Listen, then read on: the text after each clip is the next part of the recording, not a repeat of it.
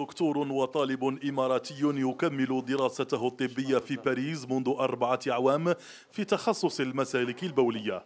عبد الله اقتطع اليوم جزءا من وقت دراسته لمشاركة إخوانه ممثلي طلاب الدولة في فرنسا في عقد أول ملتقى طلاب لهم في باريس. أول شيء أنا تعلمت لغة جديدة. آه، اللغة الفرنسية عرفتني على مجتمع جديد. آه، طبعا تتعرف عاداتهم تعرف تقاليدهم تعرف آه، الناس كيف عايشة وكيف طريقة حياتهم. من الناحية العلمية في استفادة جدا كبيرة.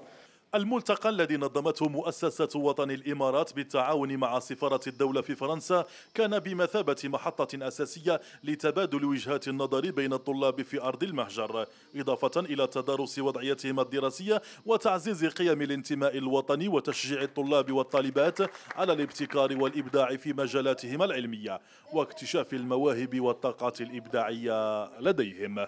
نحن على ثقة فيهم وثقة تامة على وعي هم الحمد لله على وعي وإدراك الحس الوطني عندهم مرتفع.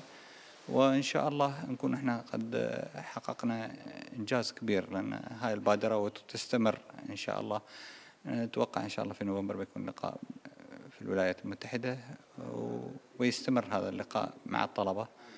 وأملنا فيهم كبير. طلاب الإمارات في فرنسا يدرسون في جميع التخصصات وإن كانت الأكثرية منهم اختارت الطب في الجامعات الفرنسية. وهناك من يدرس الهندسة والعلوم الإدارية والإنسانية والقانون وهم موزعون على الجامعات في جل التراب الفرنسي. ما شاء الله عدد لا بأس به هم موجودين والحمد لله والشكر اللي نحن نفتخر فيه كإماراتيين أن كل الطلبة اللي موجودين هي آه، يمثلون دولة الإمارات خير تمثيل. بأخلاقياتهم بتواجدهم مع الشعب الفرنسي ومع الجاليات الأخرى الموجودة. وتتنافس أكبر الجامعات الفرنسية في استقطاب الطلبه الإماراتيين لما يتميزون به من أخلاق حميدة وتفوق علمي في جميع التخصصات.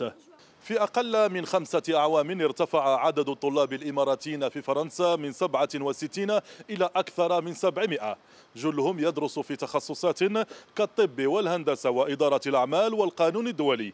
الطالب الإماراتي في فرنسا وكما في باقي الدول الأوروبية يعتز بدينه ووطنه وقيادته ويحمل رسالة قيم ومبادئ إلى الآخر.